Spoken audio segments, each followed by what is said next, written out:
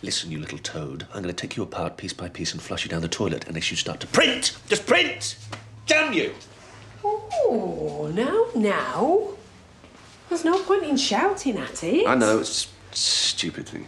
Yeah, well, sometimes all it needs is a firm hand.